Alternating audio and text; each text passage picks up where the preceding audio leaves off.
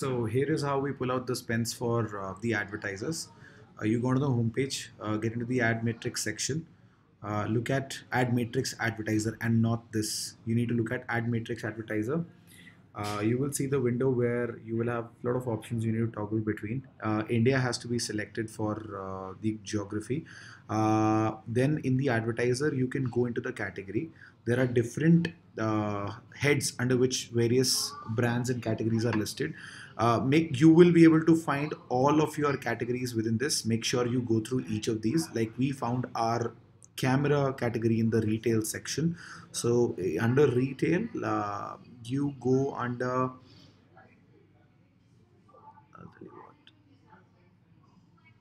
consumer electronics. Within consumer you go for camera and equipments. This is gonna be including all camera as well as equipment brands okay? So your category selected as camera and equipment display by advertisers. Uh, after that, you need to select the duration. Uh, the data is only available till the period it's not grayed out. So I'm going to do select all. If you need to take out month on month data, you will need to do that manually. Otherwise, it will give you a collective data for all the duration that you've chosen. Uh, we don't need to do any publisher wise data. So we'll be looking at all of internet uh, we need so this highlights that do you want advertisers as rows or advertisers columns? So we'll be looking at advertisers as rows and uh, publishers as columns uh, then you can also select what all data you want to look at so we, we want to look at uh, impressions which are being served spends which have been made creatives also uh, uh, you know that you want to look at i have already pulled out the report the creative report takes some time so you can see if you want creatives or not but yeah that's helpful uh, then you can look at share of publisher ad impressions, share of publisher ad impressions within category. All of that, this can be selected. Save the set. You can name the set if you want or just exit it. After that, uh, just make sure that you have India selected in the geography. Uh, you have selected the category right. You've selected the duration, all the uh, uh, deliveries that you want to see and include category column as well run report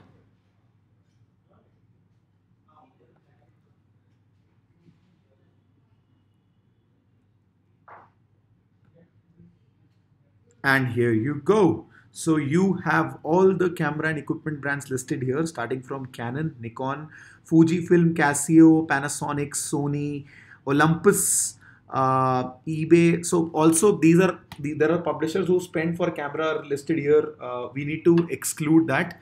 Uh, you see, all of internet has been recorded to uh, spend only three crores. Uh, and about 167 million impressions served. So guys, uh, ComScore uh, basis crawlers have read that it only reads spends which are done through publishers. It doesn't read any spend which is done through Google, including Google search, display, all of it. And it also doesn't include any spends on Facebook, which means you will there are two ways to arrive to a logical spend number. Either you extrapolate it if you know what is the mix that has been taken by the category. Uh, is it is the mix only comprising of 15% of display and the rest is on Facebook and Google?